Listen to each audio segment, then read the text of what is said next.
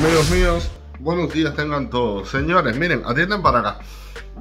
¿Y si fuera Bukele el que le va a dar bajando a Maduro? Todo el mundo está esperando que sea Estados Unidos, que se cuele Estados Unidos, intervenga, coja a Maduro, lo levante en peso, lo meta en una cárcel norteamericana. Pero, ¿y si fuera Bukele? ¿Podría estar Bukele cuadrando algo raro? Eh, no sé, él hizo una publicación eh, ayer en X que me sorprendió muchísimo. Y en este video vamos a explorar esa posibilidad, pero lo primero es, señores, sábado 17 de agosto, qué cosa más linda. Yo estuve en la manifestación de los venezolanos que se hizo acá en Oslo. Una manifestación preciosa. Yo pensé que iban a haber cuatro gatos. No, no, no, no. Me quedé sorprendido con la cantidad de venezolanos que hay aquí en Oslo. Aquello estaba repleto de gente, una organización, unas tarimas, micrófonos, carteles, eh, gente tocando música. Vaya, una, me quedé, me quedé así impresionado con lo que hicieron acá en Oslo. Y cuando vi lo que hicieron en España, en Argentina, en Estados Unidos, dentro de Venezuela, en Caracas, me quedé, pero patitiese, dije, qué gente. Bueno, señores, saquen la cuenta, estamos hablando que fueron 300 ciudades de todo el mundo, en 300 ciudades de todo este planeta, se reunieron los venezolanos, casi 8 millones de venezolanos en las calles del mundo y dentro de Venezuela, enorme, miles y miles y miles de personas. Y María Corina, que se apareció de repente un camión eh, tapada y salió y dio su discurso y aquel discurso curso. Fue una cosa preciosa. Segundo a segundo están haciendo historia. Saca la cuenta que se dice que ha sido la manifestación más grande de toda la historia. O sea, que ocurrió así en tantos países, tantas ciudades al mismo tiempo. Increíble, mi respeto para los venezolanos. Fíjate si tuvo impacto. Que ahora vamos a entrar en Bukele y vamos a, a, explorar una posibilidad porque, no sé, hay pistas, pero fíjate tú, si tuvo impacto esta mega manifestación dentro y fuera de Venezuela, tantas, tantas ciudades, tanta gente, millones de personas que, bueno, quienes aparecieron de nuevo, mis amigos del ejército privado Blackwater o Academy. Hmm, ¿Se acuerdan, no? Eric de Prince prácticamente le ha metido un ultimátum a Maduro, a Diosdado Cabello, a Vladimir Padrino, Vamos a ver qué fue lo que dijo el jefe y creador de este ejército privado, que en lo que respecta a este tipo de ejércitos es más grande y el ejército más poderoso del mundo, en, su estilo, en su nivel, en su rango. Fíjate eso, este, el grupito este de, Putin, eso es la pandilla de Kutú Kutú al lado de esta gente. Esta gente son pro. Eric de Prince, para empezar, le mandó un mensaje directo a los venezolanos. Miren esto, señores. Venezuela, resiste, juntos por la libertad, la unidad y la paz. We're coming soon. We support you to the end iremos pronto para apoyarlos hasta el final.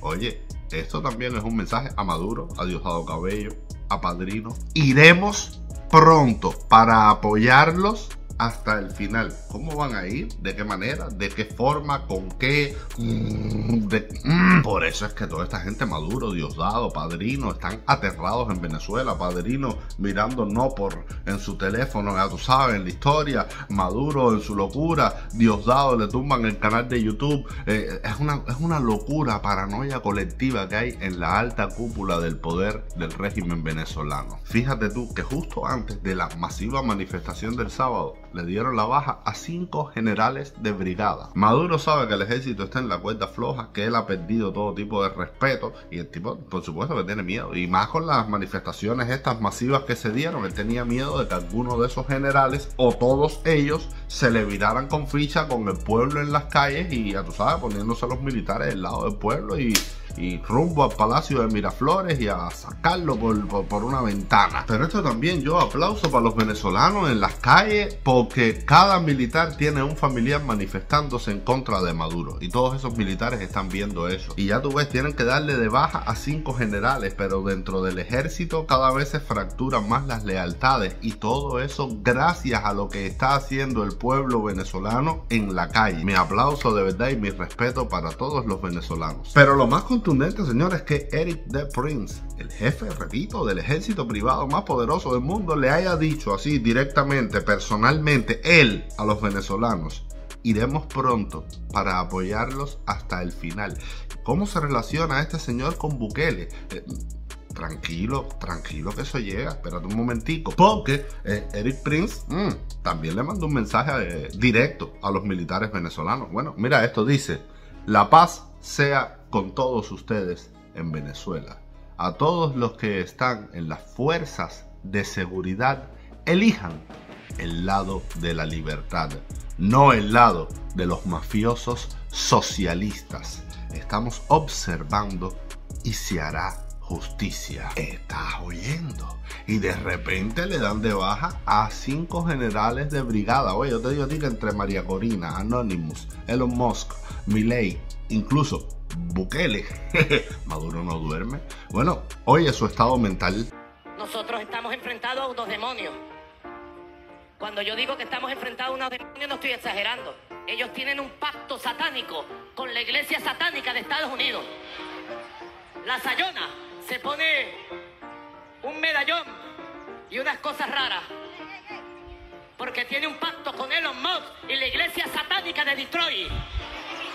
Por eso es que yo digo que estamos enfrentados a un Goliath satánico. ¿Viste? Y para colmo Prince con su ejército no deja dormir tranquilo Maduro, compadre. Maduro con todos sus mafiosos, Diosdado, Padrino, etcétera, están en su operación Tintuntun esa.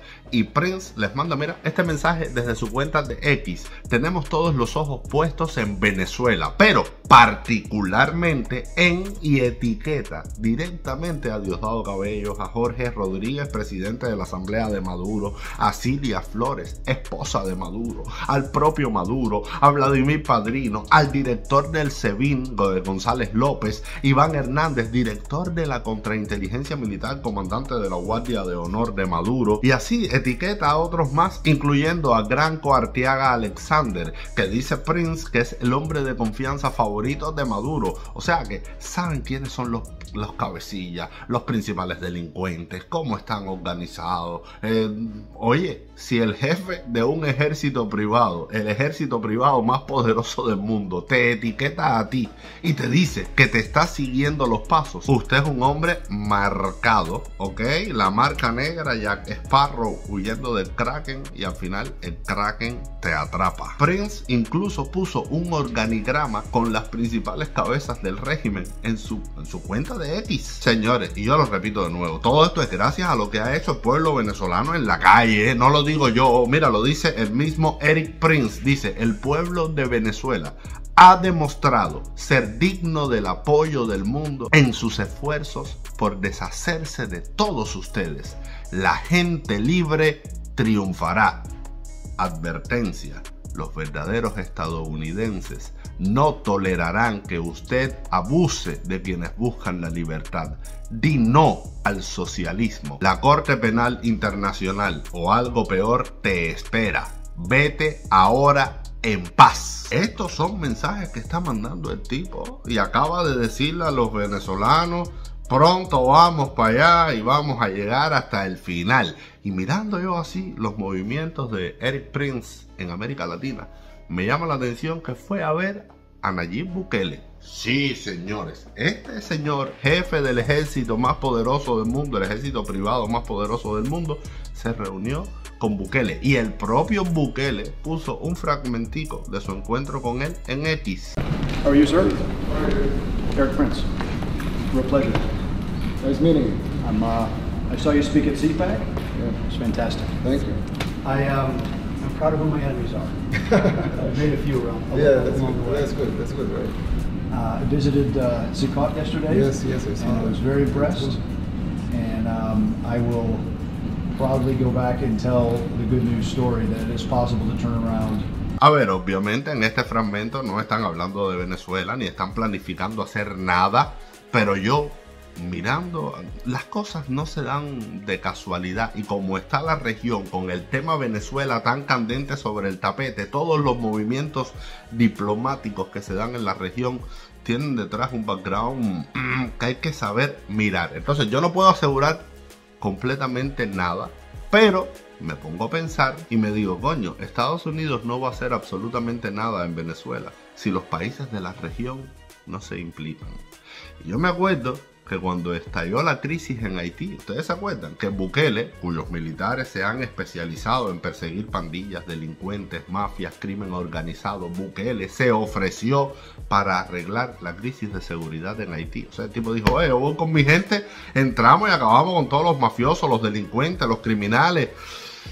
O sea, Bukele estuvo dispuesto a meterse en Haití no estaría dispuesto a meterse en Venezuela. Bukele, que ha condenado a Maduro, que ha dicho que eso es un régimen de oprobio, antidemocrático, que está en contra del pueblo. Bukele, que no reconoció el resultado fraudulento de las elecciones donde Maduro salió vencedor. Bukele dijo, no, yo no reconozco eso. Es más, Bukele, que hace cuatro días se burló directamente de Maduro. Puso en X, es tu culpa, y los mods. burlándose de cómo pronuncia Maduro el nombre de Elon Musk. Mirando todo este panorama, veo que Bukele se reúne con Eric Prince. Eric Prince que le acaba de decir a los venezolanos, vos para adentro pronto y vamos a ir hasta el final. No puedo asegurar nada, pero mirando las circunstancias, digo, coño, podría ser. Hay que esperar, podría ser, pero ustedes se imaginan, para mí sería algo brutal las tropas de Bukele, con las de Academy, con tropas argentinas, con tropas uruguayas, una gran coalición entrando a Venezuela a apoyar a ese pueblo, sería brutal. Entonces, nada, simplemente estoy mirando todo lo que está ocurriendo y digo, coño, podría ser. Eh, no sé, vamos a esperar. Pero lo que sí es completamente cierto es que Eric de Prince jefe del ejército privado más poderoso del mundo, le acaba de decir a los venezolanos, iremos pronto para apoyarlos hasta el final. Eso tiene un peso grande en boca de este hombre. Así que nada, si Bukele se apunta, felicidades. Si se apunta ley, felicidades. Si se apuntan los presidentes decentes de la región, felicidades. Sería lo mejor que le puede pasar al continente y mandaría un mensaje brutal para todos los aspirantes a tiranos. Así que se une el continente completo y saquen a Maduro. Vaya, me parecería algo descomunal. Vamos a ver qué pasa. Por el momento me despido, te mando un beso y hasta la próxima.